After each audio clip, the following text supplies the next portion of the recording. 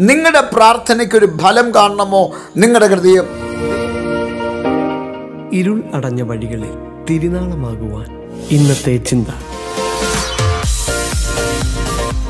ഒന്ന് രാജാക്കന്മാരുടെ പുസ്തകം പതിനഞ്ചാം അധ്യായം. അതിന്റെ ഒന്ന് രണ്ട് വാക്യങ്ങൾ ഞാനിവിടെ ഒന്ന് വായിക്കും. നബാത്തിന്റെ മകനായി എറോബയാം രാജാവിന്റെ പതിനെട്ടാം ആണ്ടിൽ അബിയാം യഹൂദയിൽ വാണു തുടങ്ങി. അവൻ മൂന്ന് സമ്മത്സരം എരുശലേമിൽ വാണു. അവന്റെ അമ്മയ്ക്ക് മയക്ക എന്ന് പേർ. അവൾ അബിശലോമിന്റെ മകൾ ആയിരുന്നു. നമുക്കറിയാം ഇസ്രായേലിനെ മൊത്തമായി ഭരിച്ച മൂന്ന് രാജാക്കന്മാർ. സലോമോൻ ദാവീദ് ഷൗൽ ഇങ്ങനെ മൂന്ന് രാജാക്കന്മാരുടെ കാലശേഷം ഇസ്രായേൽ വിഭജിക്കപ്പെടുകയാണ്. രണ്ട് ഗോത്രമായിട്ട് യഹൂദയും പത്ത് ഗോത്രമായിട്ട് ഇസ്രായേലും ഇങ്ങനെ വിഭജിക്കപ്പെടുന്നു.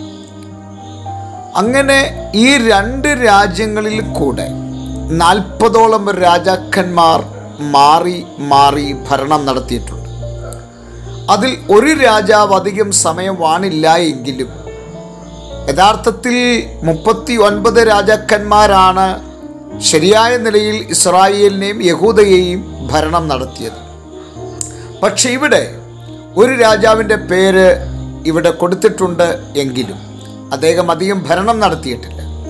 എന്നാൽ ലിസ്റ്റിൻ പ്രകാരം നാൽപ്പത് രാജാക്കന്മാർ ഇസ്രായേലിനെ ഭരിച്ചതായിട്ട് കാണുവാൻ കഴിയും. പക്ഷെ ഈ രാജാവിന്റെ ഒരു പ്രത്യേകത എന്തായിരുന്നു? ഇവിടെ നാം വായിക്കുമ്പോൾ അദ്ദേഹത്തെക്കുറിച്ച് എഴുതിയിരിക്കുന്നത് മൂന്നാമത്തെ വാക്യത്തിൽ.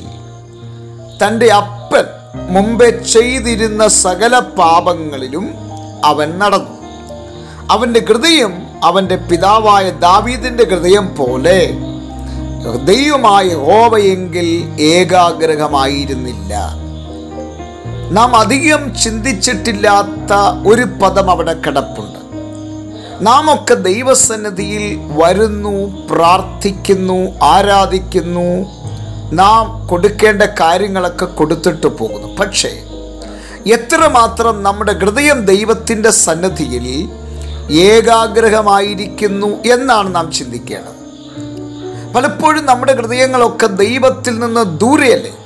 അതുകൊണ്ടല്ലേ പ്രവാചക പുസ്തകത്തിൽ നാം വായിക്കുന്നത് അധരം കൊണ്ട് ഈ ജനം എന്നെ ബഹുമാനിക്കുന്നു എങ്കിലും അവരുടെ ഹൃദയം എങ്കിൽ നിന്ന് ദൂരത്തായിരിക്കുന്നു. പ്രിയരെ നമ്മുടെ ജീവിതത്തിൽ നാം ദൈവത്തെ ആരാധിക്കുവാനായി കടന്നു വരുമ്പോൾ നാം ദൈവമായിട്ടൊരു എൻകൗണ്ടർ ചെയ്യുമ്പോൾ നമ്മുടെ മനസ്സ് അവിടെയും ഇവിടെയും പതറിപ്പോകാൻ അനുവദിക്കരുത്. നമ്മുടെ മനസ്സ് ദൈവത്തിന്റെ മുൻപിൽ ഏകാഗ്രഹമായിരിക്കണം. അതുകൊണ്ടാണ് ദൈവവചനത്തിൽ നാം വായിക്കുന്നത് തങ്കൽ ഏകാഗ്രഹ ചിത്തന്മാരായിരിക്കുന്നവർക്ക് വേണ്ടി തന്നെത്താൻ ബലവാൻ എന്ന് കാണിക്കേണ്ടതിന് നമ്മുടെ ദൈവത്തിന്റെ കണ്ണ് ഭൂമിയിൽ എല്ലായിടവും ഊടാടിക്കൊണ്ടിരിക്കുകയാണ്. ഈ ദിവസം നിങ്ങളുടെ ജീവിതത്തിൽ ദൈവത്തിന് ചിലത് ചെയ്യണം എങ്കിൽ നിങ്ങളുടെ ഹൃദയം ദൈവത്തിന്റെ കരത്തിൽ ഏകാഗ്രഹമായിരിക്കട്ടെ. അങ്ങനെ ഏകാഗ്രഹമായിരിക്കുന്ന ഒരുവന് വേണ്ടി ഒരുവൾക്ക് വേണ്ടി പ്രവർത്തിപ്പാൻ ദൈവം വിശ്വസ്തനാണ്. ഒരു ചെറിയ ഉദാഹരണം പുതിയ നിയമത്തിൽ നിന്ന് പറഞ്ഞ് ഞാൻ അവസാനിപ്പിക്കുകയാണ്. നമുക്കറിയാം ഒരു പ്രാർത്ഥനയെക്കുറിച്ച് വേദപുസ്തകം നമ്മെ പഠിപ്പിക്കുന്നുണ്ട്. യാക്കോബിന്റെ ലേഖനത്തിലാണ്. യാക്കോബിന്റെ ലേഖനത്തിൽ നാം വായിക്കുന്നത് ഇങ്ങനെയാണ്. നിങ്ങളിൽ ഒരുവൻ ദീനമായി കിടന്നാൽ സഭയുടെ മൂപ്പന്മാരെ വരുത്തി കർത്താവിന്റെ നാമത്തിൽ എണ്ണ പൂശി പ്രാർത്ഥിക്കട്ടെ എന്നാണ്.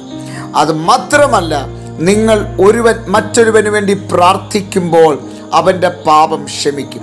അവിടെ പ്രാർത്ഥിക്കുന്ന ആ പ്രാർത്ഥനാ വാചകത്തെക്കുറിച്ച് നാം താഴോട്ട് വായിക്കുമ്പോൾ അവിടെ എഴുതിയിരിക്കുന്നത് ഇങ്ങനെയാണ്. ദൈവത്തിന്റെ സഭയുടെ ശ്രദ്ധയേറിയ പ്രാർത്ഥന വളരെ ഫലിക്കുന്നു എന്നാണ്. ദാറ്റ് മീൻസ് നാം ദൈവത്തിന്റെ സന്നദ്ധിയിൽ ഏകാഗ്ര ചിത്തയോടെ ഏകാഗ്ര ഹൃദയത്തോടെ ഏക മനസ്സോടെ നാം ദൈവത്തോട് പ്രാർത്ഥിക്കുന്നുവെങ്കിൽ ആ പ്രാർത്ഥനയ്ക്ക് വലിയ ഫലമുണ്ട്. എത്ര പേർക്ക് വിശ്വസിക്കുവാൻ കഴിയും? നിങ്ങളുടെ പ്രാർത്ഥനയ്ക്ക് ഒരു ഫലം കാണണമോ? നിങ്ങളുടെ ഹൃദയം ദൈവത്തിന്റെ മുൻപിൽ ഏകാഗ്രഹമായിരിക്കട്ടെ.